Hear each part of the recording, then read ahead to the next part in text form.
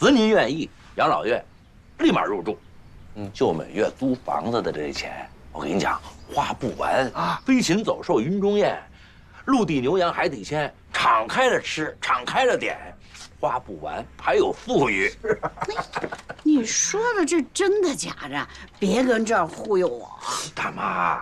忽悠谁，我也不敢忽悠您呐。您是看着我长大的，您是我的亲大妈，您就放心吧，交给我，一定漂漂亮亮的。是大妈，我哥呀，真没忽悠你，说的全是实话。我们哥俩就干这个的，是吗？啊，那天呢，我做了一梦，嗯，梦见我在家里一个人死了都没人知道。哎呦哎呦，我心的话呢，住养老院呢。还是比住家里好，哎，可不是。你们说，我这事儿有门儿？有门儿啊！这感情好啊！那咱们就怎么地？就这么定了。得嘞，享清福吧。没有经过记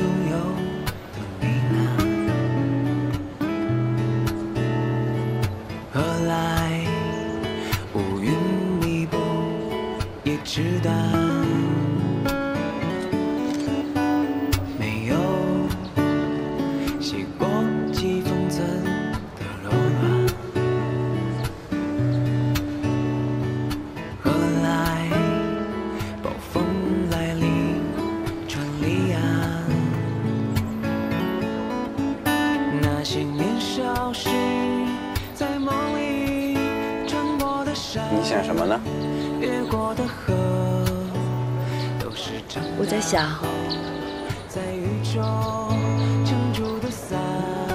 我打小就生活在这胡同里，可是我好像从来没有认真的体会过这里的一砖一瓦一草一木所承载的这份厚重。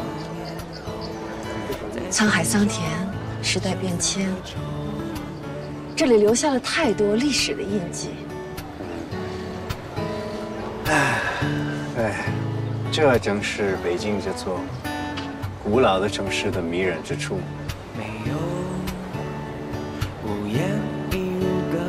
你在拍些什么？后来，夜深人静的阑珊。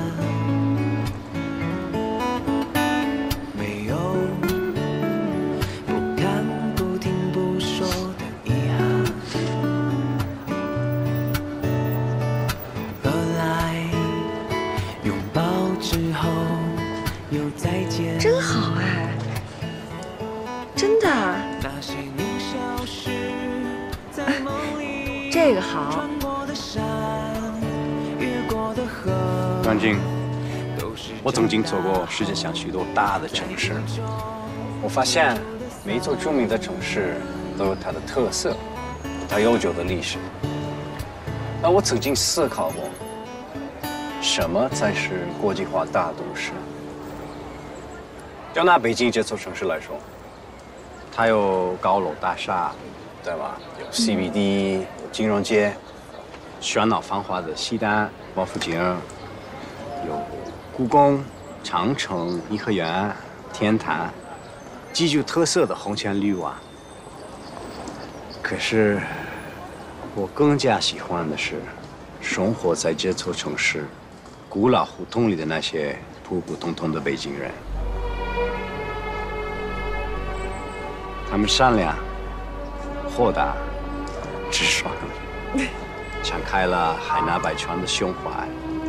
迎接着全中国乃至全世界几千万涌入北京，为这个国家、为这座城市努力打拼、辛勤劳作的人们，这些常年生活在皇城里的人们，才是这座城市的根，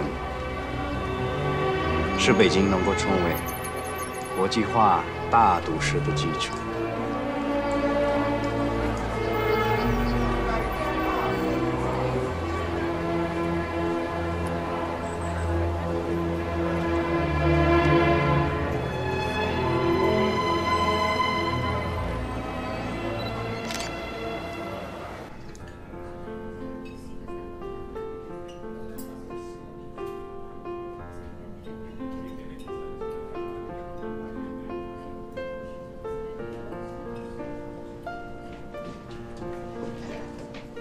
三哥，哎，来了，来。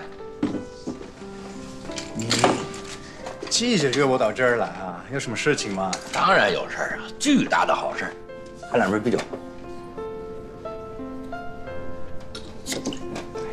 三哥，你这下午就要喝酒啊？高兴喝酒还分时候吗？来，请我到这儿来啊？你到底是什么事情这么高兴啊？你不是说有几个洋哥们儿、洋姐们儿想租一个跟我们家小院一样的院子吗？哥们儿帮你划拉了一个，倍儿棒，真正的独门独院，比我们家这院子还地道。真的啊？这能有假吗？你三哥是不靠谱的人吗？赶紧告诉他们啊！这几天随时看房，看上了满意了，我帮他装修。哎，等一下，等一下，等一下，三哥，你又不是像我上次给我租房那出吧？哪壶不开提哪壶，这房主是我大妈，从小看着我长大的，倍儿亲，哪像我们家老头这么轴啊？放心吧，来，那好，那我就替我朋友谢谢你了啊。谢什么呀？都是哥们儿。三哥，无利不气早啊！你要没钱挣，你还能帮这个忙吗？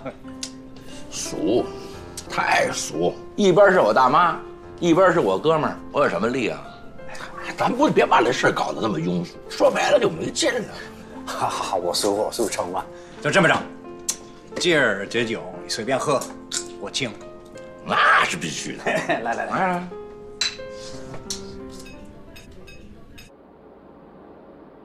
你找我有事啊，顺子？哎，生意上到底怎么样了？生意上怎么办啊？不是还那样吗？没什么起色。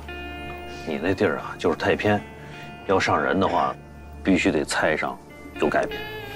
怎么改啊？那留住杨师傅就谢天谢地了。哎呀，杨师傅算什么呀？你这守着大宝贝儿你不用，你不是枕着烙饼挨饿呢吗？你说我公公啊？除了他还有谁啊？你看，你也想过是吧？我当然想过啊，可是人家不愿意来啊。你得想办法给老爷子请出来呀。哎，你想想，你公公那是国宴的特级厨师，全北京城做满汉宫廷菜的没有不知道他的，也没有不服气的。你先把他请出来，让他给你帮帮忙。只要老爷子愿意上手，我告诉你，甭多了，二十道菜，你那餐馆翻天覆地。哼到那时候，你别说杨师傅，你就是打他，他都不会走的。聪明的厨子明白，得着跟高人学做菜的机会，给钱他都愿意，对不对？杨师傅是多聪明的人啊！你想想，那一见你公公，一提起你公公，那一脸的敬佩，这你都亲眼瞧见的呀。哎呀，顺子，我跟你说实话啊，其实你说的这些呢，我都有想法。而且之前啊，我跟公公婆婆都提过，最早开这个饭馆不就是为了老爷子吗？啊，老爷子呢也准备亲自来主理，而且名字都改好了，叫维天居。结果，这不是让老爷子丢人了吗？现在一提餐厅他就生气，一点办法都没有。这这没办法，你也得想办法呀。你想想啊。这只要老爷子一出手，再加上旺季，你这餐馆一准能扇起来。是，是得想想办法，让老爷子不帮我都不行。哎，有人需要我能帮上忙的，你告诉我啊。谢谢。不客气。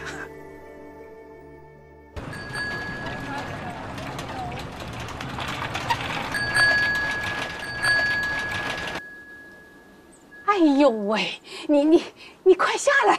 这要是一刮大风啊，这块非掉下来不可。你就下来吧，这老胳膊老腿的，动不动上梯子，你就不怕哪天掉下来摔你一半残？志存，志存，你出来！哎哎，爸，什么事儿？哎呦，你怎么又上去了？你你有事叫我呀？我让你啊，下班的时候啊，啊，去那个化工油漆店转转，给我买半斤吊胶。到现在你也没给我买回来，我去了。您要那吊胶，人家早就不卖了，现在都用化工药水了。哎，我说吧，就拿钉子钉上就行了。就是，他还不让钉。你们说这话，我一听就来气。这是老房子，一百多年了，老古董，用现在的化学药药水粘，用钉子钉，那不是暴殄天物吗？志传，哎，你呀，你给我好好转转，必须给我买回来。我还要猪皮吊胶，别的粘不结实。我就是给您好好转，转到越南去也没地儿给您淘换那玩意儿。你就没好好转，你你多跑几家，肯定能买来。实在不行啊，呃，你奔趟高碑店那儿的那个古家具市场，呃呃，好多小作坊，肯定有卖这东西的。哎，得，您这一嘴还给我支郊外去了。我最近单位特别忙，实在没工夫去。你让志斌去不就完了吗？我就叫你去。你凭什么就指使我一人啊？那志斌有汽车，一脚油门的事儿，我得骑自行车尬过去。这小子，那交代他点事儿，撂爪就忘，我就放心你。嘿，谢谢您。哼，爸，您说的那个猪皮吊胶，是不是拿那个猪骨、猪皮一起熬的呀？猪皮。呃，要不这样，我去我馆子里给你熬吧。哎，对对对，这事凤儿能办呀。你说猪皮、猪骨头，这饭馆现成的。你给我熬，那倒是，现熬的那个吊胶啊，它黏糊。哎，可是，你会熬吗？这个，这个我们要是不会熬，您就指点指点，不就会了吗？哎，那倒是啊。快下来吧，您下来，快下来吧，快下来。哎哎哎哎哎，这凤儿就帮你大忙了。你你也不愁没地方买胶了，哎，我也不愁再去高碑店了。嘿，哎，凤儿，这事交给你了啊。没事啊。哎，爸，您没事支持支持老三啊，这不着调还有理了，别老什么事老想着我。哎，凤儿，那就辛苦你了。哎只用猪皮，不用猪骨头，猪骨头那是熬汤。哎凤儿知道。大妈，大妈，大妈，大妈。哎，大妈，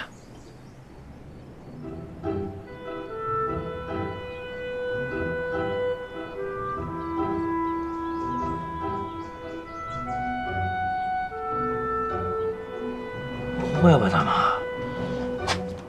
你又不认识我了？不是，斌子，哥，这咋又不认识咱俩了？大妈，堂哥，这。这就是房东吗？这就是我种的吧。他是不是？别急，别急，别急，岁数大了，一阵一阵的。对对对对，大妈，你得好好看看。斌子，三儿啊。哎呦，你终于认出来了，吓我一身白毛汗。怎么会不认识？嗯，是，大妈，我看您岁数大了，这大白天开始犯糊涂了都。大妈，您这决定啊太英明了。今儿我要不来呀，您就迷糊的醒不过味儿来了。是，太后怕了。这地方千万不能再住。是，嗯。今儿啊，多亏你了哈！哎哎，你这些那个黄头发的洋哥们，这干嘛来了？哎，大妈，这是我们朋友，今儿不到您这儿看房子来了吗？哎，大妈您好，您好，您好。哎，这外国朋友怎么怎么都说中国话呢？爸妈，甭管他说哪国话了，赶紧赶紧，哎哎哎，搂搂搂搂，大妈，您瞅瞅。这是我们哥俩给您精挑细选的养老院，您看您满意不满意？您瞅瞅，您瞅瞅，这是我给您找的啊，这是咱北京头一份的养老公寓。这公寓对面啊，就有一大湖，跟您住的环境差不多，而且啊，常住着大夫护士，随叫随到。是，这养老院边上还有一个医大医院，对，大医院，幺二零，一分钟就到。您再看，您这屋里头。哎，等会，等会，等会，不是三儿，你让我看这干嘛？啊，嗯，再有你这些洋哥们，到底来干什么来了？不是不是，您您不是让我安排给您找这个养老院，您到那儿养老去吗？啊，去养老院啊？我没说过这话呀。哎，大妈，咱可不带这么逗的。这这刚几天功夫，您说那话都忘了。是啊，哎，大妈。您逗我们哥俩玩呢吧？逗你玩，我没那功夫。我去养老院干嘛？我没说过要去养老院呢。我住这儿挺好的，我我哪儿也不去。不是这，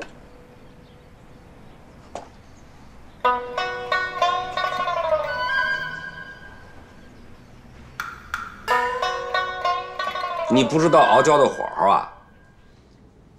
哎，小点就行，用慢火，起码照着五个钟头熬吧。怎么？嗯，还得我看看去。啊，好，好，好，嗯。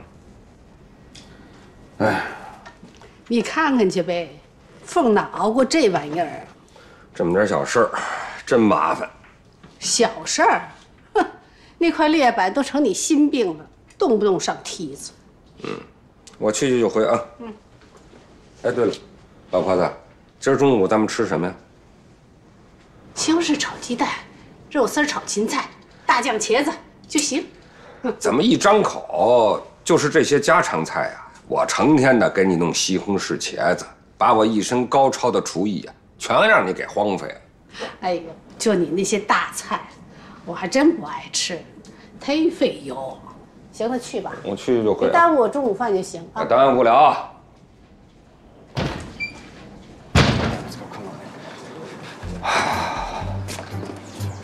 真对不起。张志斌，你这个人太不靠谱了！你让我在我的朋友面前很没有面子，知道吗？我们时间是很宝贵啊！你耽误我们的时间，等于你耽误我们的金钱啊！那你要怎么着？要让我赔你精神损失费。我保留这个权利。甭来这套！没看见钟大妈病得都糊涂了？哎，我说大伟，这一开始啊，跟老太太都说好了，那谁成想她现在不……这这是你们的事儿啊，跟我没有关系。反正庄志斌，我就知道以后我再也不会相信你了，爱信不信。走走走，真对不起啊！哎，真对不起，对不起。告诉你，这个人就不是，哥，这事儿就这么黄了？就别提这事儿了。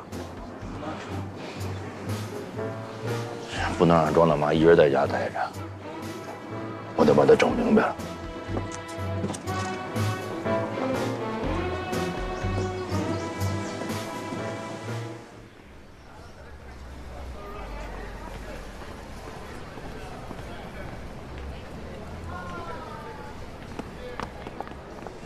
哟，怎么你们还在这儿等着我呢？啊，对呀，等您好久了，赶紧进去吧。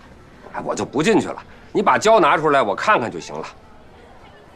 哎，但是我觉得您得进去看看，我们中间出什么问题都不知道，您得指点指点我们呀。嗯。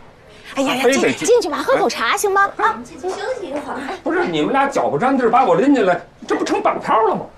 您慢点儿，慢点儿，慢点儿，慢点儿。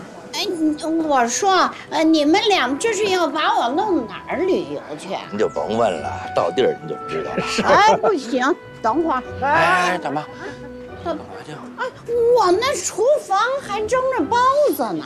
啊，你那厨房上着锁呢，哪儿蒸包子？是，你想吃包子了吧？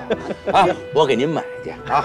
那那我要庆丰的。行，狗不理我都给您买着。还有车坐，车好。慢点，慢点，慢点，慢点，慢点，慢点。嗯。哥，这大妈是真糊涂假糊涂啊？我哪瞧得出来呀？给我都整糊涂了。志斌。干嘛去？哎，田大妈。哎，那个，你去干嘛去？啊？您干嘛来了？啊啊！这不是社会上空巢老人问题越来越严重嘛？我们居委会呀，特地组织了关爱空巢老人的活动啊。我们今天来呢，就是看看像钟大妈这样的独居老人，生活上有什么困难，我们呢也好帮助帮助他们。看，哎，这事儿闹的。那我跟政府想一块儿去了，我们哥俩就为这事儿来的。钟大妈就在车里呢，没没发现钟大妈这些日子有点儿啊？我打算带她去医院好好检查检查。哎呀，志斌呐，好孩子，哎，难得你能惦记这些孤寡老人。现在的年轻人呐，没有你这样觉悟已经不多了。你呀，把我们居委会的心都给操了。那天大妈，我一定给你们家送一面锦旗去。哎，锦旗就算了，我也没地方挂。您要送啊，跟我们家老头送去啊，省着他老说我不着调。他敢，他再敢说您不着调，我跟他急。没错，跟他急。您说话还是有分量。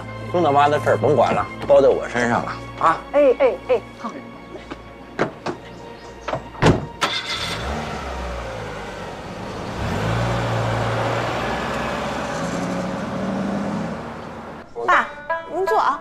小珍、小丽，来倒点茶。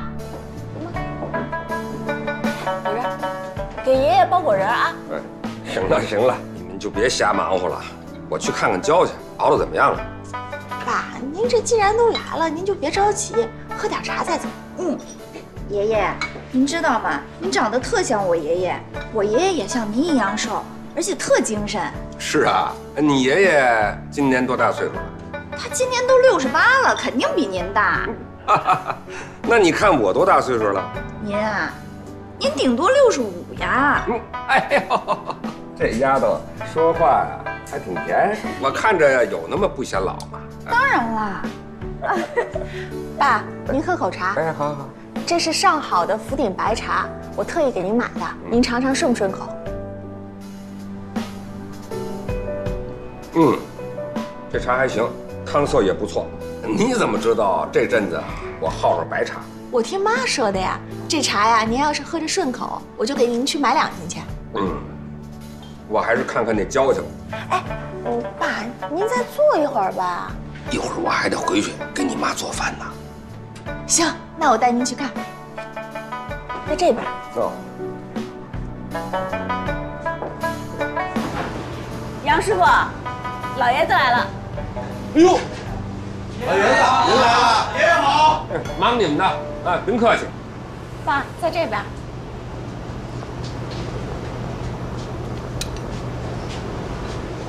您看，这个呀。我都熬了一个多钟头了，合着才一个多钟头啊，这功夫还早着呢。我怕熬干了，一会儿扒锅。哎，就是在要干没干的时候才出粘性，再再再熬一个一个多钟头，差不多了。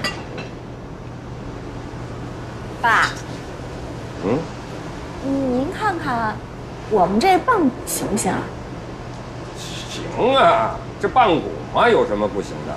可是为什么我们每次熬出来的高汤都不够香、不够浓啊？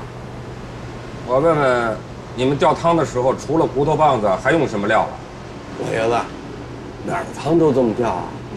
骨头加老鸡呀。哎，爸，您看，这个是我们的浓汤，那个是我们的清汤。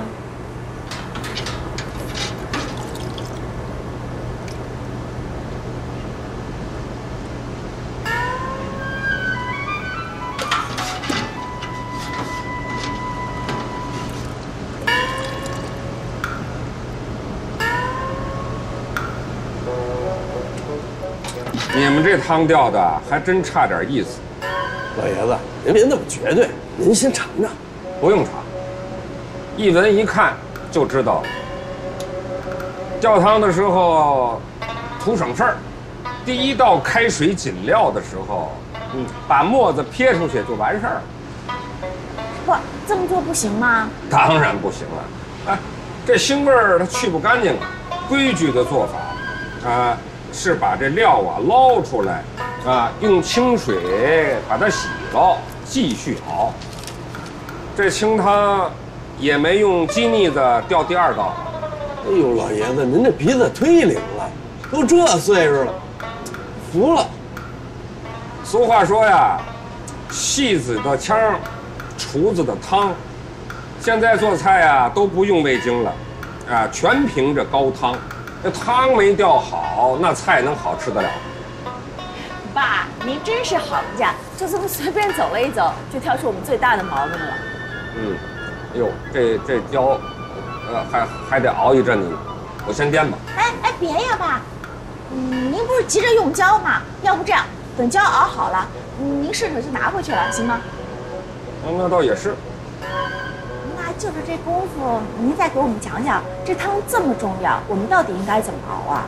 怎么熬？我当厨子的时候啊，光这清汤就得调三道，先用那个鸡胸肉打成腻子调一道，再用虾腻子调一道。我用的材料啊，啊也比较讲究，除了骨头棒子和老鸡，还有猪蹄子和肘子。用这么多材料，这熬出来的汤那一定很鲜呀。好厨子啊，没有不在汤上下功夫的。那汤啊，要讲究。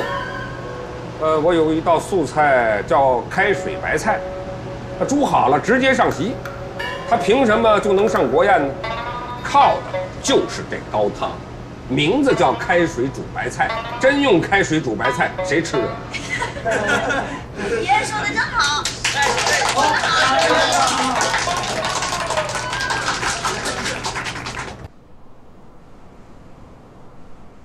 你们是老大娘什么人啊？就是我们一邻居，他没亲属。大妈是孤寡老人，你有什么事跟我说吧，就当我是他的亲属。那好吧，幸亏你们送来及时，老人的血压已经很高了。这个原因呢，就是他这个颈部啊脑动脉狭窄，脑供血不足造成的。这么下去的话呢，随时可以发生脑梗塞和脑溢血。我们建议先住院治疗，观察一下。不是，高血压，不像啊。其实啊，很多老年人啊犯了高血压没有强烈的反应。这个片子我看啊，老人的小脑已经萎缩了，我可以基本确定他患的是阿尔兹海默症。哟，这这，那还能见缓吗？我跟你说句实在话，这个岁数的老人啊，只能会越来越重，能恢复过来的少。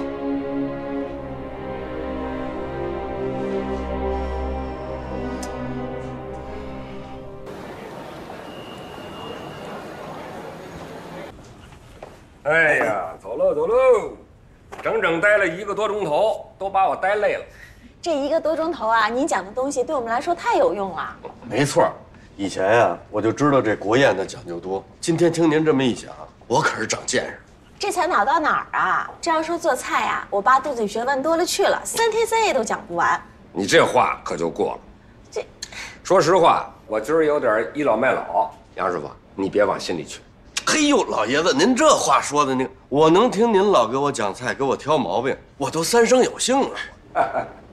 啊，小志，去给爷爷送回去。哎，哎，不用搀着，我没这么老，给我吧，你们都回吧。啊，爸，您今天辛苦了，不过您可答应我了，要是有时间的话，再来给我们指点指点。对，老爷子，您可得再来。哎呀，这馆子呀，菜做的再好。也没用。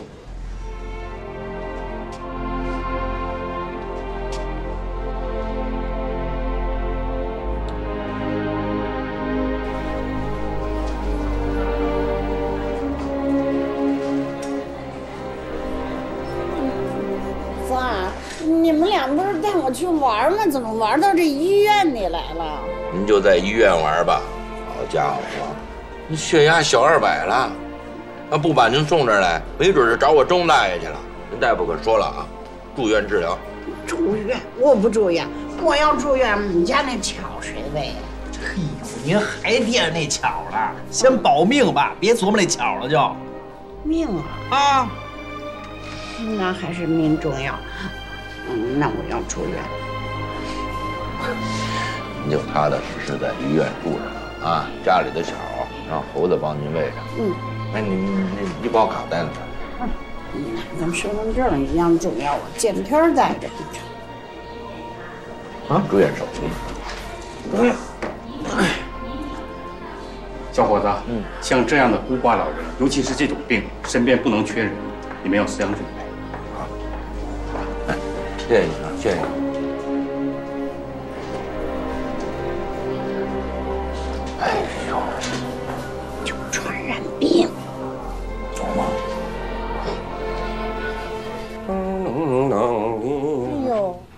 这都什么时候了？就看一眼表胶，这才回来。哟，都一点了，老伴儿，对不起了，今天午饭晚了点儿晚了点儿，哼，再耽误那就成晚饭了。这这，这不是还因为你说的那些话吗？我说什么了？你说我不够意思啊，也不帮帮凤他们，还说老三那钱都快赔进去了。我这打算看完表胶就回，结果呢，凤让我给他们高汤提提意见，我就给他们说了说高汤。这功夫他们正上菜，我一看那菜啊也不太像样，啊，又给他们说了说菜，这就弄到这会儿。你总算干了件正经事儿。要这么说，这顿饭我吃不上都没关系了。别介呀，我的夫人呐，这就与你烹饪去了。扛菜，扛菜，扛菜，扛菜，扛菜，扛菜，扛菜，扛菜，扛菜，扛菜，扛菜，炕菜，炕。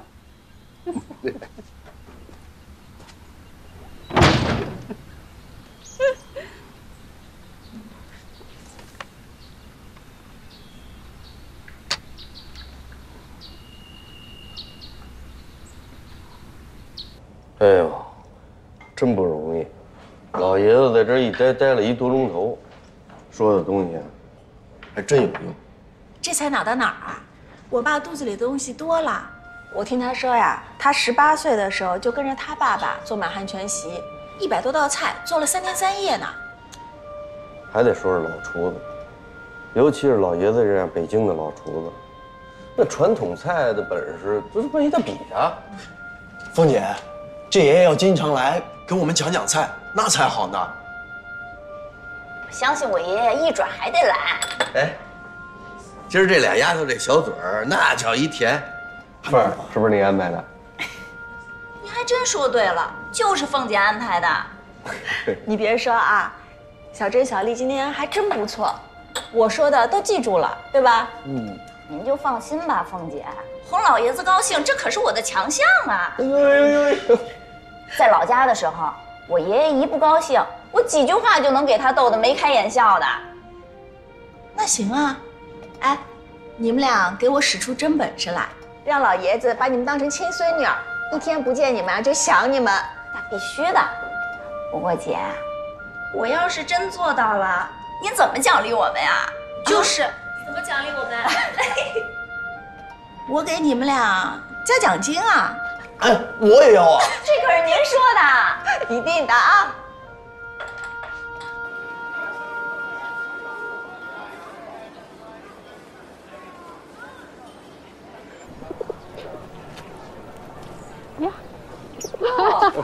庄大哥、金大姐，这遛弯去？哎对对走走，田大主任，您忙呢？忙 忙啥呀？哎呀，庄大哥呀，今儿个呀，我得好好表扬表扬您。表扬我？嗯，表扬我什么呀？啊，对了，这些日子我正想着学雷锋做好事儿，可是我还没开始行动呢。又开逗。庄大哥，都说您呐教子有方，儿女呢个个有出息，还真不假。就说你们家老三志斌吧，知道钟大妈最近身体不太好，连忙开着车带大妈到医院看病去了。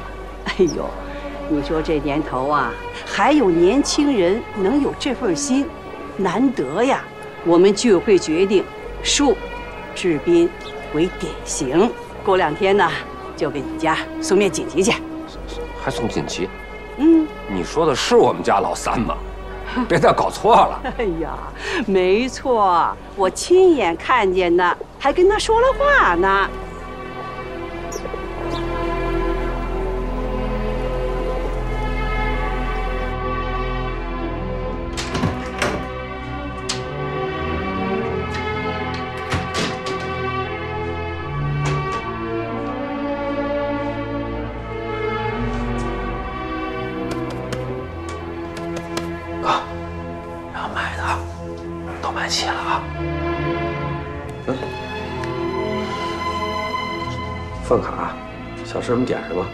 我都放里边。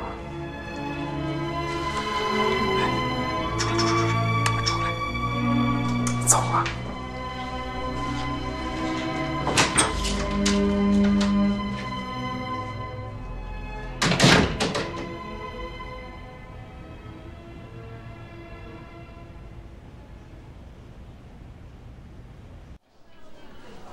这房子没租着，怎么摊上这么一位啊？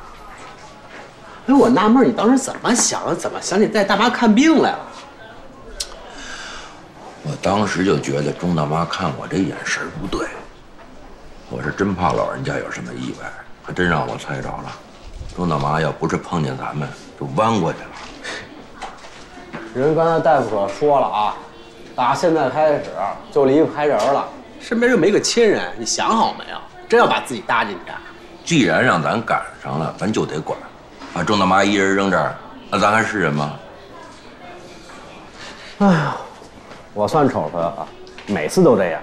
只要你这爱心一犯滥，我就得跟你往里跳。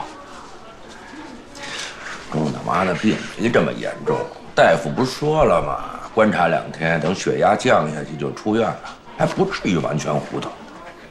是，不过还好，这大妈还有个医保。咱俩分个工，白天你盯。吃完晚饭我就过来接你的班，能怎么办呀？这么着呗。不是你还不乐意是吗？不是不乐意，你说这是平白无故的多了那么麻烦了。这人怎么一点爱心都没有？干干干！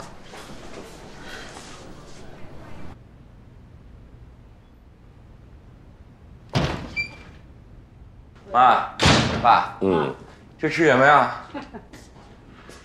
哟，红烧带鱼，这这唱哪出啊？你前两天不是念叨想吃会带鱼了吗？你爸就给你做了。我就随便说说，还真做了。甭问，是您想吃这口吧，让我给赶上了。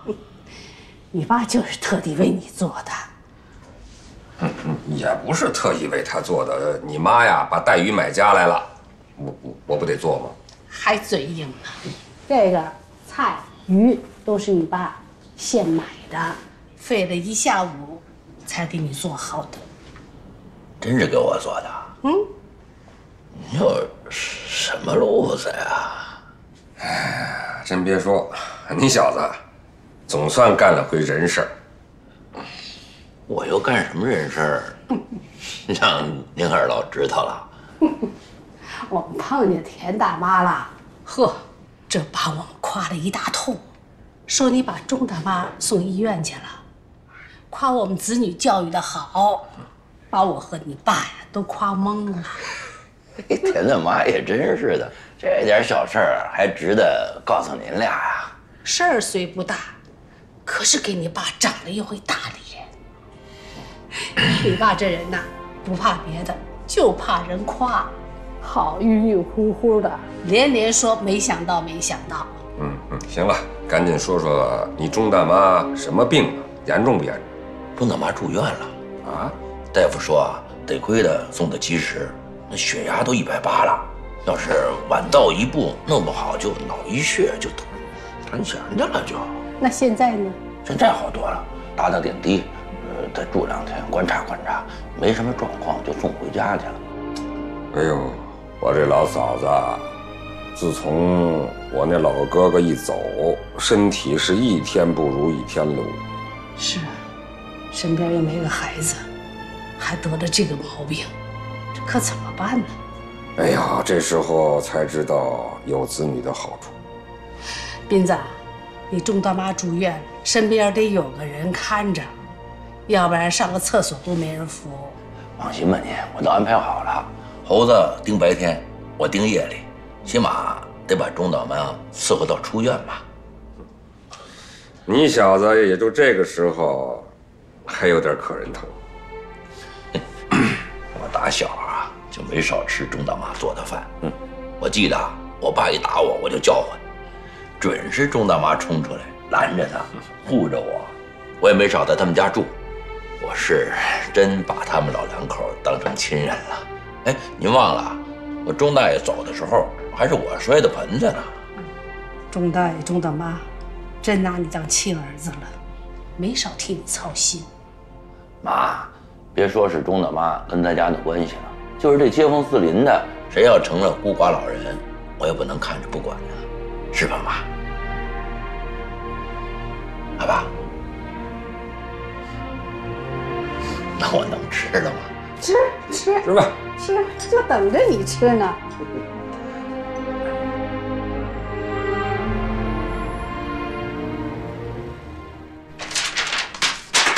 庄文娟，怎么回事儿？这次语文怎么只考八十三分？妈，这八十三分在我们班已经排前五名了。你还觉得挺好的是吧？你们班排前五名，全年级呢？这全校呢？全北京呢？你第几名啊？啊？你这不好好念书，你以后考不上重点中学，考不上重点中学，你怎么考上名牌大学啊？妈，您这就不懂了吧？现在国家有政策，普及义务教育，以后连高中都是免费入学了，不光小升初不用考了，就连中考都快要取消了，都是九九入学。你懂得挺多的啊，我不懂是不是？这个是国家重视教育的惠民政策，但不代表你就可以不好好念书啊。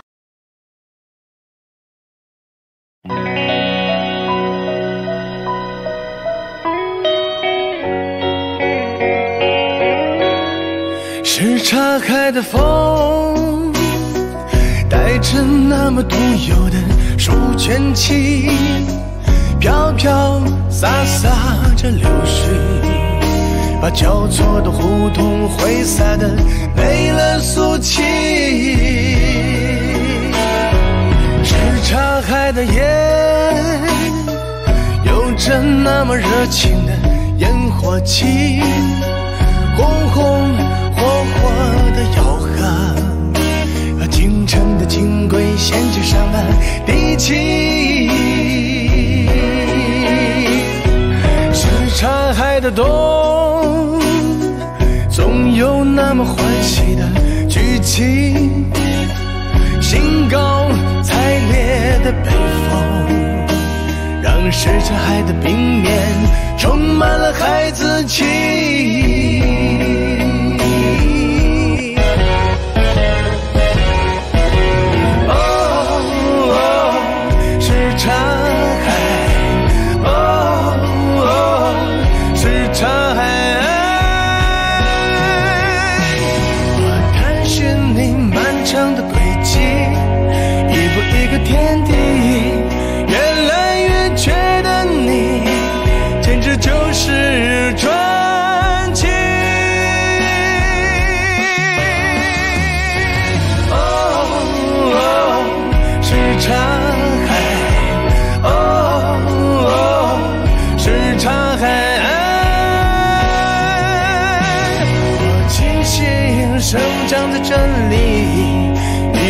出现。